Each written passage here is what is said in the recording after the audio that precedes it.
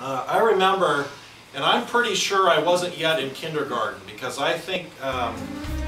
uh, I remember going into kindergarten uh, already feeling like I was, you know, ahead of the game because I had read my first book cover to cover.